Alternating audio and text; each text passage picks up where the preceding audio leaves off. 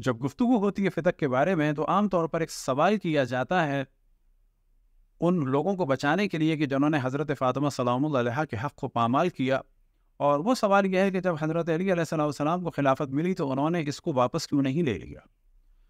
तो इसका जो सबसे अहम जवाब यह है, वो ये है कि मौला अमीरमिन के लिए उस वक्त जो हालात चल रहे थे, उनमें किसी भी एतबार से इसको वापस लेना मुमकिन नहीं था और न उनके बाद इमाम हसन सलाम के लिए मुमकिन था कि वो फ़िदक को वापस ले सकें।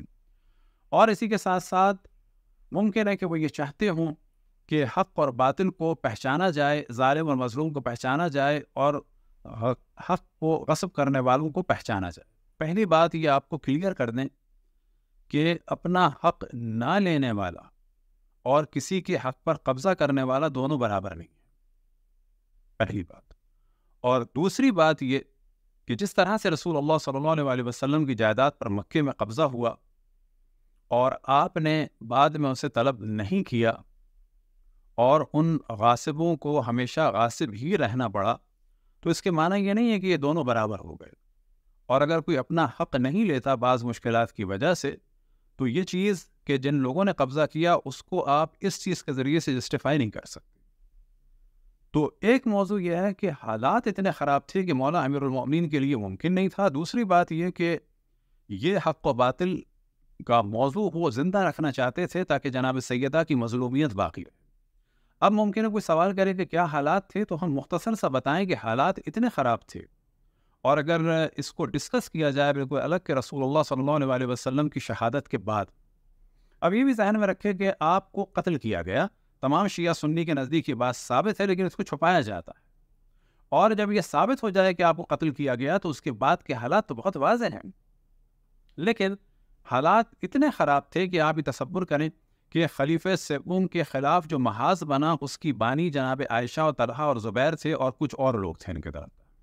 और कमाल यह है कि जब उन्हें कत्ल कर दिया गया, क्योंकि प्लानिंग थी तलहा को खलीफा बनाने की और जब वो कत्ल कर दिए गए खलीफ सिबुम तो हज़रत आयशा ने ये देखते हुए कि अब हज़रत अली खलीफा बन गए हैं तो उन्होंने मौजू अपना बदल दिया। कल तक वो फरमाती थी कि उख्तुलनासल फ़कत का फ़रा यानी जनाब उस्मान के लिए वो कहती थी कि ये एक यहूदी से नस्बत देती थी, जिसका नाम था नासल, कि इस यहूदी नासल को कत्ल कर दो, क्योंकि ये काफिर हो गया है। और जब वो कत्ल हो गए तो कहती है कि, हाय, ये मजलूम मारा गया, इसने तौबा कर ली थी। आओ हम अब उस्मान के खून का इंतकाम लें। तो यहाँ से आप समझ सकते हैं कि क्या पॉलिटिकली हालात थे और मौला अमीरमिन जैसे ही खिलाफत ज़ाहरी पर फाइज हुए, जैसे ही उन्होंने कंट्रोल संभाला तो जो सबसे पहला प्रॉब्लम हुआ, जो तारीख़ इस्लाम की सबसे पहली जंग थी, वो जंग शुरू हो गई और वो थी जनाब आयशा तला और ज़ुबैर की क़्यादत में जंग जमल। अब मुमकिन है आप सवाल करें कि इसका क्या ताल्लुक फ़िदा को वापस ना लेने से तो वजह ये थी कि खलीफ सिवम ने अपनी सखावत दिखाते हुए फ़दक को अपने चचाजाद भाई के जिस पर, चचा पर, यानी हकम पर और उसके बेटे, उसकी औलाद पर रसूलुल्लाह सल्लल्लाहु अलैहि वसल्लम ने लानत भेजी थी और तवातुर के साथ रवायात शिया और सुन्नी में है कि रसूलुल्लाह सल्लल्लाहु अलैहि वसल्लम ने हकम कि जो खलीफ सगुम का चचा था और उसका बेटा मरवान इन दोनों पर और बल्कि हकम की तमाम औलाद पर लानत भेजी थी और उनको शहर से निकाल दिया था। खलीफ अव्वल की भी ज़रूरत नहीं हुई, खलीफ दोम की भी ज़रूरत नहीं हुई वापस बुलाने की। खलीफ सगम ने पहला काम ये किया कि जिनको रसूलुल्लाह सल्लल्लाहु अलैहि वसल्लम ने निकाल दिया था, उनको बुलाया, न फ़कत बुलाया, बल्कि उनको पावर दी और पावर में से एक पावर ये दी कि वो बाग और वो जायदाद के जो जनाब सैदा सलाम की थी, वो जौज जो वो रसूल की बेटी को तो नहीं दी गई, बल्कि उस शख्स को दे दी गई कि जिस पे रसूलुल्लाह सल्लल्लाहु अलैहि वसल्लम ने लानत भेजी थी, यानी हकम और उसका बेटा मरवान। अब आप तस्वुर करें कि जिस तरह से हज़रत आयशा ने सियासी मौजू बदला कि हज़रत उस्मान की मुखालफत के बाद और उनके कत्ल के बाद वो हज़रत अली की मुखालफत हो गई तो आज आप लोग ये बहस कर रहे होते कि अली बिन अबी तालिब ने उस्मान के खून का इंतकाम भी नहीं लिया और ना फ़कत ये कि इंतकाम नहीं लिया, बल्कि उनकी जायदाद को छीन लिया और वो जायदाद आज आप ये ज़ाहिर कर रहे होते कि वो फिदक थी। तो मौलाना अमीरमिन तो फ़ौर मदीने से उनको निकलना पड़ा था। हालात इतने ख़राब थे। अब आप कहेंगे कि वो इतने बहादुर थे तो सवाल ये पैदा होता है कि खलीफे सेबम को जब कत्ल किया गया तो कोई साहबी बाहर नहीं निकला, कोई उनका दिफा नहीं कर सका। उनका दफन मुश्किल से हुआ हती उनके साथियों की लाशों को गलियों में खींचा गया और इसी तरीके से उनको दफन किया गया जश कौकब में, कि जो यहूदियों कब्रस्तान था क्योंकि किसी भी तरह से उनके दफन के लिए इम्कान नहीं हो रहा था। तो ऐसे हालात में अब आप ये सवाल करते हैं कि मौला अमीरमिन इतने शुजा थे, जनाब सैदा घर का मुहासरा कैसे हुआ? तो हम सवाल करेंगे कि जब खुद मौला अमीरमिन खिलाफ हैं, खलीफ अब्बल की बैत के, और आप तस्वुर करें कि तमाम लोग जो हैं वो मुखालिफ हो चुके हैं, और मुखालफत का जो एक मौजू था वो ये था कि जिनके दिलों में बोस था, वो कहते थे कि रसूल अल्लाह सल्लल्लाहु अलैहि वसल्लम के लिए कि ये नबी भी हो गए, अपने ख़ानदान में अब ये इमामत को और खिलाफत को भी छोड़ के जाएँगे। असल मौजू ये था। लिहाजा अंसार भी मुखालिफ थे उस वक्त अहल बैत के और महाजर भी मुखालिफ हो गए थे। पावर का गेम चल रहा था। तो जब खलीफ सेवम की मुखालफत इतनी हो जाए और कंट्रोल से हालात निकल जाएँ तो बिल्कुल इससे ज़्यादा हालात ख़राब थे कि जब रसूल सल्लल्लाहु अलैहि वसल्लम को शहीद किया गया और फिर खलीफ अब्बल की बैत मौला अमीरमिन और जनाब सैदा नहीं कर रहे थे, उनके घर को जलाने की धमकी दी गई तो जिस तरह से खलीफ सिब्बुम के बारे में आप हालात को सुनते हैं और कहते हैं कि ये पॉसिबल है, बिल्कुल यही हालात और उससे ज़्यादा हालात ख़राब थे मौला अमीरमिन के लिए, जनाब सैदा के लिए और बाकी बनु हाशिम के लिए बाद शहादत रसूल सल्लल्लाहु अलैहि लेकिन यहाँ पर हम इस चीज़ को डिस्कस करते हैं कि ये फ़िदक दर हकीकत खलीफ सिब्बुम ने अपने चचाजाद भाई मरवान को दे दिया था और हालात इतने ज़्यादा ख़राब थे तीसरे खलीफा के कत्ल के बाद कि मौला अमीरमिन के लिए किसी भी एतबार से मुमकिन नहीं था कि वो ले ले। अब वो हालात कितने ख़राब थे क्या क्या हो सकता था, वो हम बाद में डिस्कस करेंगे, लेकिन पहले हम ये डिस्कस करते हैं कि ये फ़िदक खलीफ सिबुम ने अपने चचाजाद भाई मरवान इबन हकम को दे दिया था। अब ये हकम कौन है? तो ये खलीफ सेबुम का चचा है, जिसे रसूल अल्लाह सल्लल्लाहु अलैहि वसल्लम ने निकाल दिया था और ना खलीफ अब्बल ने उसे दोबारा आने दिया, ना खलीफ दोबुम ने आने दिया। खलीफ सेबुम ने फ़ौर पावर में आते ही ना सिर्फ़ ये कि उसको बुलाया, बुलाने के बाद उनको माल दिया, खसूस मरवान को पावर दी और इसी तरह से बाग फ़िदक भी मरवान को दे दिया। तो यहाँ से हम गुफ्तु शुरू करते हैं। सबसे पहले आपके सामने तारीख़ अबिलफ़िदा और तारीख़ अबिलफ़िदा का पहला, पहली जल्द है और जिसमें उन्होंने डिस्कस किया है कि क्या क्या वजूहत थी जिसकी वजह से लोग खलीफ सबुम के मुखालिफ हुए और ये मुखालिफ इनके चंद के उन्होंने नाम भी लिए हम जैद बिन साबित अबू उसैद असादी काब बिन मालिक व हसान बिन साबित वमिम्मा नक़मन्नास है और हकम इबन आस के जिन चीज़ों की वजह से लोग नाराज़ हुए उनमें से एक ये थी कि उन्होंने हकम बिन आस को वापस बुलाया ये हकम बिन आस कौन है तरीद रसूल सल्लल्लाहु अलैहि वसल्लम व तरीद अभी बकर व उमर ऐज़न के जिन को जिसको रसूल सल्लल्लाहु अलैहि वसल्लम ने निकाल दिया था दुस्कार दिया था मदीने में नहीं आने दिया था ना खलीफ अब्बल ने आने दिया ना खलीफ दोम ने आने दिया इबन हकम खम सगनाए में अफ्रीका बहुआ खम्स में ते दीनार और खलीफ सेबुम ने अपने सगे चचाजाद भाई मरवान को जो आमदनी थी अफ्रीका की उसका पांचवा हिस्सा और जो पांचवा हिस्सा उस वक्त बनता था वो था पाँच लाख दिनार यानी पाँच लाख सोने के सिक्के सालाना की आमदनी दी अपने उस चचाजाद भाई को जिसको रसूलुल्लाह सल्लल्लाहु अलैहि वसल्लम की ज़बान पर मलून कहा गया और फिर क्या किया? वक्ता मरवान इबन हकम फ़दा अब यहाँ पर एक बहस की जाती है अख्ता में तो अभी हम यही पढ़ देते हैं कि जो उन्होंने लिखा है कि मरवान बिन हकम ने फ़िदक को ले लिया। अच्छा मरवान बिन हकम ने फ़िदक को ले लिया, लोग नाराज़ हो गए हज़रत उस्मान पर। वजह ये नहीं थी। वजह ये थी कि हज़रत उस्मान ने अपने चचाजाद भाई मरवान बिन हकम को फ़िदक दे दिया, जिस पर लोग नाराज़ हुए। वजह यह थी कि जनाब सैदा से तो वो ले लिया गया, जो हमने पहली नशस्त में अपने बयान किया। खलीफ अब्बल ने भी उसको बैतुलमाल के तौर पर रखा, खलीफ दोगम ने भी रखा, लेकिन खलीफ सेगम ने उसको बैतुलमाल भी नहीं रखा सदफ़ा भी नहीं रखा, जनाब सैदा को भी नहीं दिया, बल्कि उनकी जो सिफत बनो मैया में मशहूर हुई थी गनी, उसकी वजह यह थी कि वो अपने रिश्तेदारों को बहुत ज़्यादा मुस्तनी फरमा देते थे, बहुत ज़्यादा उनको माल देते थे। उन्हीं में से एक झलक ये थी कि पाँच लाख सालाना की आमदनी अफ्रीका के खुम्स की मरवान बिन हकम को उन्होंने दी और साथ में फ़दक भी दे दिया।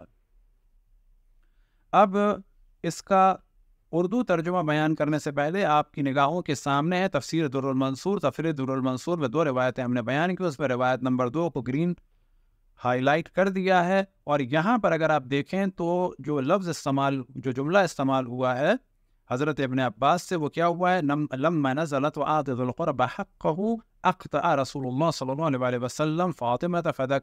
अब यहाँ पर आप देखें कि अख्ता रसूल फ़ातिमत फ़दक कि रसूल अल्लाह सल्लल्लाहु अलैहि वसल्लम ने मालिक बना दिया फातिमा को फ़दक का। अक्ता के माना है, ए मल्ला का यानी मालिक बना दिया। वहाँ पर क्या हो रहा है?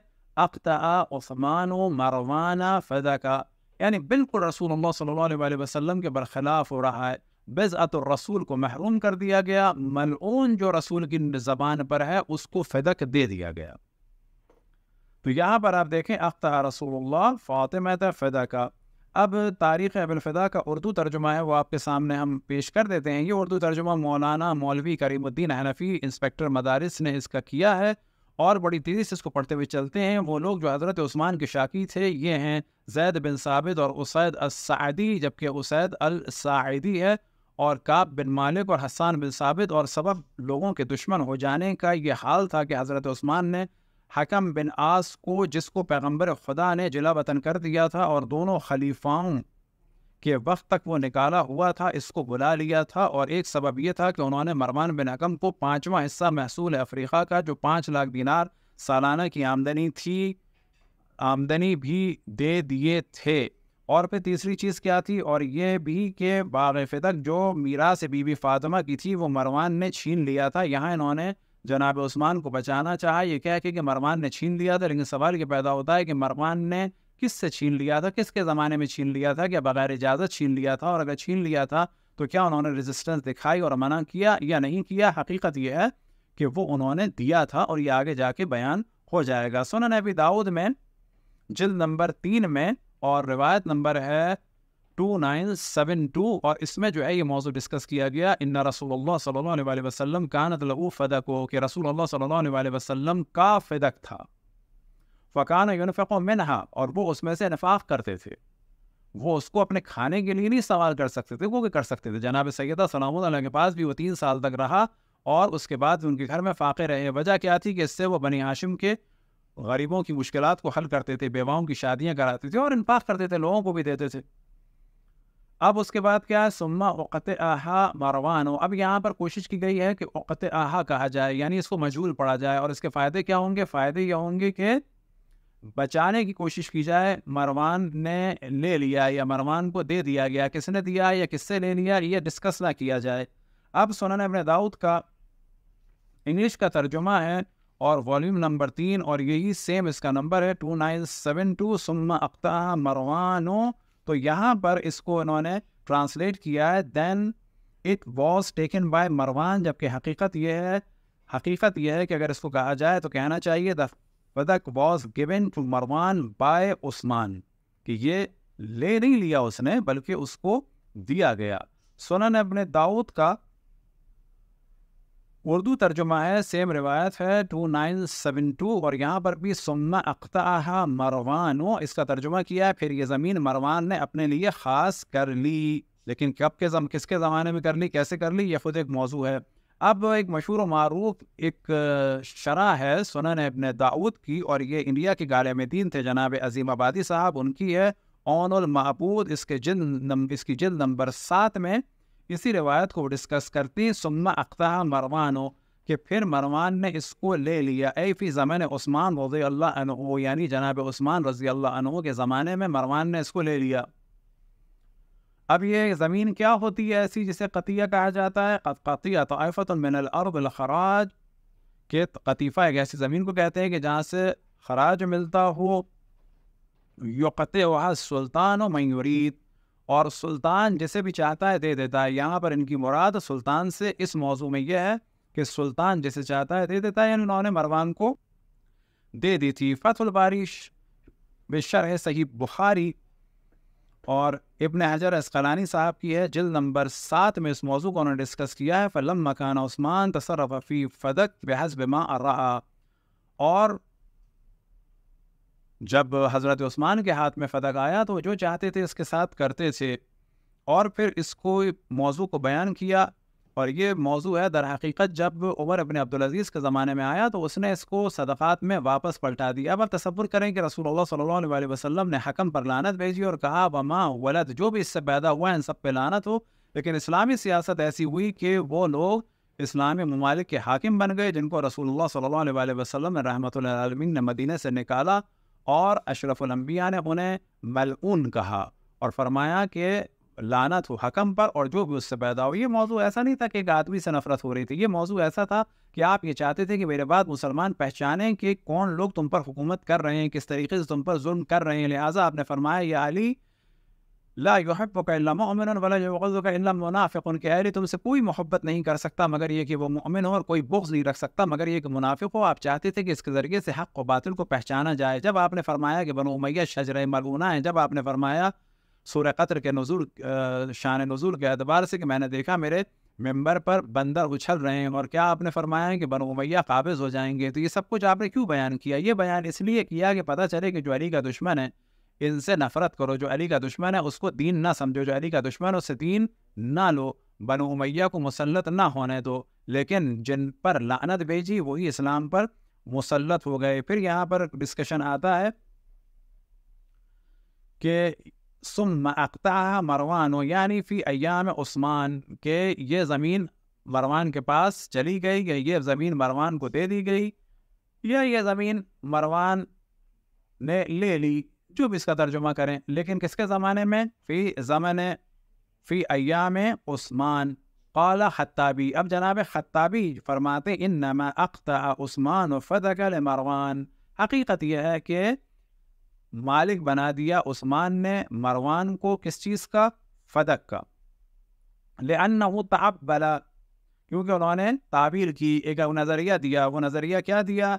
अनदी यख्तबिन नबी यकून खलीफत बदहू कि जो कुछ नबी का है वो खलीफा का हो जाता है बाद में तो लेकिन अगर ये मान भी लिया जाए कि अगर वो नबी का अपना था तो वो जनाब सैदा का होना चाहिए था और अगर आपके बकौल वो बैतुलमाल था तो फिर वो बैतुलमाल रहना चाहिए था वो किसी और के पास नहीं जाना चाहिए था कि जो उन्होंने मरवान को दे दिया अब यहाँ पर अगर मुराद ये है इनकी अन्नल्लजी यख्तबिन नबी अगर वो नबी का मखसूस था तो इन्होंने अपना महसूस कर लिया, नबी की बात तो नबी की बेटी का होना चाहिए था।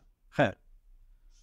फस्तगना उस्मान अनहा बे फबसला बेहा बाद कराबत ही कि वो उन्हें इसकी ज़रूरत नहीं थी? ये माल उन्होंने दे दिया अपने बाद रिश्तेदारों से सिल रहम करने के लिए। अब ये जहन में रखें कि वो अपने रिश्तेदारों के लिए बहुत ज़्यादा गनी थे। और ये मौजू ऐसा है कि जो मुख्तलिफ़ कुतुब सुन्नत में भी डिस्कस हुआ है और खरीफ सेवन की शहादत या कत्ल के बारे में भी जो मौजूद डिस्कस की जाती हैं उनमें से एक ये है। फ़तुलबारी शह सईद बुखारी में अजर इसलानी जिल नंबर तेरह और सफ़ा नंबर दस में इस मौजू को डिस्कस करते हैं जो हमने डिस्कस किया था आ, मरवान के मलून होने के बारे में क्या फरमाते हैं। कद वरदत अहादी सोफ़ीला अनिल हकम वालद मरवान के रवायात आई हैं रसूलुल्लाह सल्लल्लाहु अलैहि वसल्लम से इस बारे में कि मरवान पर लानत की आपने? और मरवान कौन था? वालिद हकम, के जो बाप था हकम कौन था? जो बाप था मरवान का। वमा वलद। तो लानत फरमाई आपने हकम पर और जो भी उससे पैदा हुआ। यानी पूरी आल मरवान के जो बनो उमैया की हुकूमत का सिलसिला चला मरवान के बाद से। अब यहाँ पर यह जहन में रहे कि आलम इस्लाम के हालात इतने ख़राब थे कि इंसान तस्वुर नहीं कर सकता।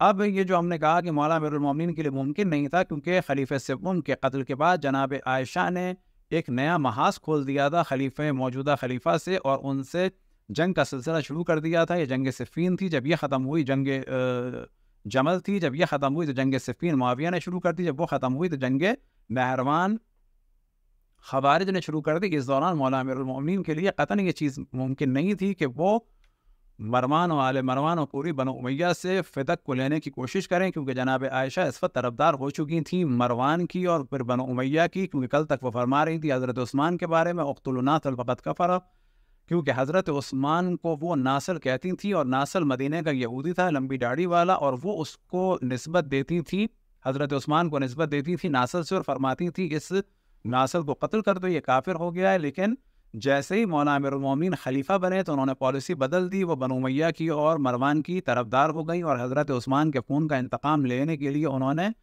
मक्के से मदीने और मदीने से दोबारा मक्का और यहाँ तक के बसरा पहुँच कर चढ़ाई की और जंग जमल वजूद में आई, जो मुसलमानों के दरमियान, मुसलमानों के दरमियान आलम इस्लाम की पहली जंग है, जिसमें तकरीबन दस हज़ार से लेकर छत्तीस हज़ार तक अफराद मारे गए और एक बड़ी तादाद उसमें असाब की दोनों जानब से मारी गई। अब तारीख़ तबरी में इस सिचुएशन को देखते हैं, क्या हो रहा था? जल्द सेपुम है और सपा नंबर 59 और 60 है। कसास उस्मान का मुतालबा। अब यहाँ पर है कि जब हज़रत आयशा मक्का से वापस लौटी और सर्फ पर पहुँची तो वहाँ इनकी मुलाकात अब्द अब्द बिन उम कलाब से हुई। इसके बाप का नाम अबू सलमा था, लेकिन ये माँ की जानब से, माँ की जानब मनसूब किया जाता था। हज़रत आयशा ने इसे देख कर फरमाया, तुम इस वक्त खूब आए अब्द बिन अबी सलमा ने अर्ज़ किया, लोगों ने उस्मान रज़ी अल्लाह अनहु को कत्ल कर दिया और आठ रोज़ तक कोई खलीफा नहीं था। हज़रत आयशा ने फिर सवाल किया, फिर लोगों ने क्या किया? अब्द बिन अबी सलमा अहल मदीना ने बाहम जमा होकर मशवरा किया और आखिरकार एक भलाई उन्होंने हासिल की कि उन्होंने भलाई की कि इन सबने अली इबन अबी तालिब पर इतफ़ाक़ किया। इस पर हज़रत आयशा ने क्या कहा? काश कि ये ज़मीन और आसमान इससे कबल बाहम मिल जाते और तेरे इस साथी की खिलाफत कायम न होती, मुझे वापस ले चलो, मुझे वापस ले चलो।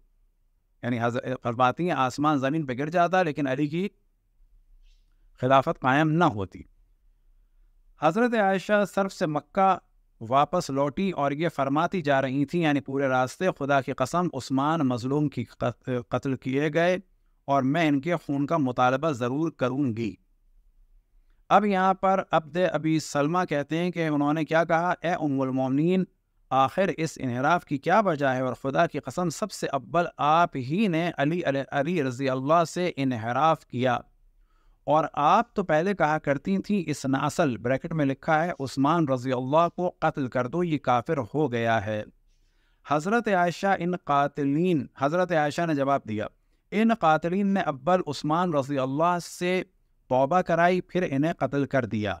मैंने पहले कत्ल के लिए कहा था, अब ये कह रही हूँ, और मेरा आखिरी कौल पहले कौल से बेहतर है। यानी क्या फरमा रही है? हाँ मैंने कहा था कि उस्मान को कत्ल कर दो, लेकिन अब मैं कह रही हूँ कि मैं ख़ून उस्मान का इंतकाम लूँगी, और मेरा पहला वाला जो स्टेटमेंट था, उससे ये वाला पॉलिटिकल स्टेटमेंट जो है वो बेहतर है। इसके बाद इन्होंने अशार पढ़े, बड़ी तेज़ी से इन अशार को पढ़ते चले जाते हैं। आप ही की तरफ़ से इस फसाद की इब्तदा है और आप ही की जानब से ये तमाम तगैरत वाक़ हुए हैं। आप ही की जानब से ये अजाब की आंधियाँ चल रही हैं और आप ही की जानब से रहमत की बारिश होती है।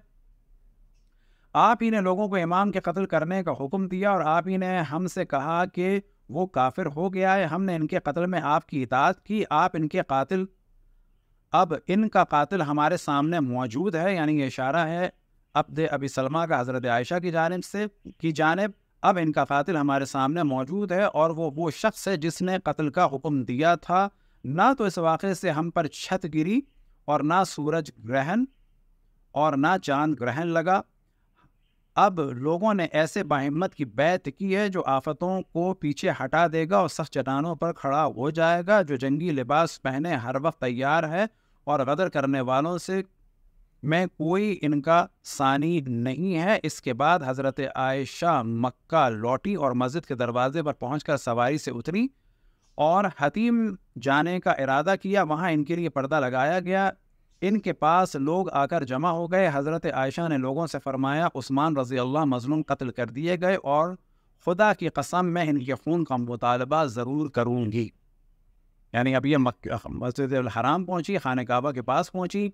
कल तक ये फरमाती थी कि कत्ल कर दो, आज फरमाती हैं कि मैं इनके खून का इंतकाम ज़रूर लूँगी। अब जब इन्होंने हमला किया तो ये चीज़ें बयान हुई तारीख़ तिबरी, जल्द नंबर चार में और सफ़ा नंबर सेवेंटी फोर में। वो क्या चीज़ बयान हुई कि जब इन्होंने हमला किया, माजरत जल्द नंबर तीन में, हिस्सा नंबर दो और सफ़ा नंबर सेवेंटी फोर में, वो क्या चीज़ बयान हुई कि जब इन्होंने बसरे पर हमला किया तो वहाँ पर गवर्नर थे मौला अली की जानब से और वो थे दर हकीकत सहाबी रसूल सल्लल्लाहु अलैहि वसल्लम, जनाब हज़रत उस्मान बिन हुनैफ। अब जब हमला किया तो मस्जिद में कत्लेआम हुआ, चालीस से ज़्यादा अफराद कत्ल हुए, उस्मान बिन हुनैफ को पकड़ लिया गया। इस मौजू में जनाब तबरी क्या फरमाते हैं? उस्मान बिन हुनैफ का हशर। जब लोगों ने उस्मान बिन हुनैफ रज़ी अल्लाह को पकड़ लिया तो उन्होंने आबान बिन उस्मान, आबान बिन उस्मान खलीफ सगुम के बेटे हैं। आबान बिन उस्मान को हज़रत आयशा के पास रवाना किया। इनका उस्मान के बारे में क्या हुक्म है? हज़रत आयशा ने फरमाया कि इन्हें कत्ल कर दो। यानी हज़रत आयशा उमरमिन आयशा फरमा रही हैं सहाबी रसूल सल्लल्लाहु अलैहि वसल्लम जनाब उस्मान बिन हुनैफ के बारे में कि इन्हें कत्ल कर दो। लेकिन किसी औरत ने हज़रत आयशा से अर्ज़ किया है उमुलमोमिन मैं मैं आपको अल्लाह की कसम देती हूँ कि आप उस्मान, यानी उस्मान बिन हुनैफ रज़ी अल्लाह के बारे में ये सोच लें कि वो रसूल सल्लल्लाहु अलैहि वसल्लम के साहबी हैं। हज़रत आयशा ने फरमाया, आबान को वापस बुलाओ। अब उस्मान बिन हुनैफ को भेज दिया है आबान के साथ कि जाओ इनको कत्ल करके आ जाओ। इतने में आबान बिन उस्मान, यानी खलीफ सेवम के बेटे को वापस बुलाया। अभी आके क्या कहते हैं? तो तवज्जो फरमाएँ। हज़रत आयशा ने फरमाया कि आबान को वापस बुलाओ, जब आबान वापस आए तो इनसे फरमाया, इन्हें कत्ल न करो, बल्कि कैद कर दो। इस पर आबान ने अर्ज़ किया कि अगर मुझे ये मालूम होता कि आपने इस काम के लिए मुझे वापस बुलाया है तो मैं ना आता। यानी आबान फरमा रहे हैं कि अगर मुझे ये मालूम होता कि उमिन आयशा इस काम के लिए बुला रही हैं कि साहबी रसूल की जान को बचाना है, कत्ल ना करो तो मैं इनको कत्ल कर देता और उमिन की बात को ना मानता। हज़रत आयशा का हुक्म सुनकर मुशाज बिन मसूद ने लोगों से कहा अब ये मुशाज बिन मसूद भी एक सहाबी हैं और ये फ़तेह मक्का के बाद मुसलमान हुए और हज़रत आयशा के साथियों में से मौलाली से जंग करने वालों में से हैं। ये ख़ुद एक सहाबी हैं और सहाबी जो हैं, वो सहाबी के बारे में क्या फरमाते हैं? तवज्जो दें, हज़रत आयशा का ये हुक्म सुन करके इनको मारो नहीं, यानी जान से ना मारो। तभी क्या फरमाते हैं? साहबी मुशाज बिन मसूद ने लोगों से कहा, इसे मारो और इसकी दाढ़ी के बाल नोच लो। लोगों ने उस्मान को चालीस कोड़े मारे। कौन से उस्मान? उस्मान बिन हुनैफ को चालीस कोड़े मारे और इनकी दाढ़ी के बाल नोच लिए और मूछे और पलकें उखाड़ डाली और कैद कर डाला। तो यहाँ पर जो मूछों का तर्जुमा हुआ है, ये तर्जुमा करने में गलती हुई है। असल इबारत यह है कि न तफू लहियतहू यानी उनकी दाढ़ी को नोच लिया, वह हाजबे है, उनकी भमों को नोच लिया, वह अशफार आईने है और उनकी पलकों को नोच लिया। अब तस्वुर करें कि सहाबी रसूल के हुक्म से उमुलमिन की मौजूदगी में मुसलमान मार रहे हैं सहाबी रसूल को और इस तरह से मार रहे हैं कि मारने के बाद, उनको निडाल करने के बाद उनकी दाढ़ी नोच रहे हैं, उनकी भमें नोच रहे हैं, हत्ता पलकें नोच ली। अब आप समझ लें कि ये पॉलिटिकली उस वक्त हालात थे इन दीनदार लोगों के कि अगर मौला अमीरमिन ये वापस ले लेते फ़िदक तो आज आप ये कह रहे होते कि फ़िदक हज़रत उस्मान का था और अली ने जानबूझ के ले लिया। जिस तरह से हज़रत आयशा ने यहाँ पर पॉलिसी बदल दी, वो ये भी कह सकती थी कि ये मिल्कियत थी उस्मान की या मरवान की और अली ने ज़बरदस्ती ले ली। यही वजह थी कि मौला अमीरमिन ने नहीं ली। यही मौजू अलकामिल तारीख़ में, अरबी में आपके सामने मौजूद है। और यहाँ पर भी है फ़ज़रबू हो अरबहीन सौतन, फ़नतफ़ू लहियतहू व हाजबहू व अशफ़ारा नई है कि उनकी दाढ़ी को, उनकी भमों को और उनकी पलकों को नोच डाला। नतफू के माना होते हैं प्लक करना। काटना नहीं है, मोड़ना नहीं है, बल्कि नोच के इस तरह से उनको मारा गया। अब यहाँ पे पता चलता है कि जनाब आयशा ने किस तरह से एक सियासी मौजू बदला। हज़रत उस्मान के ख़िलाफ़ थी, वो चाहती थी कि तलहा को खलीफा बनाया जाए, जब देखा कि मौला अमीरमिन खलीफा बन चुके हैं तो उन्होंने बजाय ये कि अब कोई और बात करती, उन्होंने कहा कि उस्मान को मजलूम मारा गया और वो काम जो दर हकीकत उन्होंने और उनके इशारों पर उनके अफराद ने किया था, वो फिर मौला अली पर डाल कर उनसे जंग का सिलसिला शुरू कर दिया गया। अब अगर मौला अमीरमिन फ़दक ले लेते तो आज ये कहा जाता कि अली ने उस्मान को कत्ल भी करा दिया, बाद में उनकी कातलों को सज़ा भी नहीं दी, ना ये कि सज़ा नहीं दी, बल्कि फ़दक जो बाग था हज़रत उस्मान का, वो हज़रत अली ने छीन लिया। आज ये बहस नहीं होती कि हज़रत फ़ातिमा का बाग था।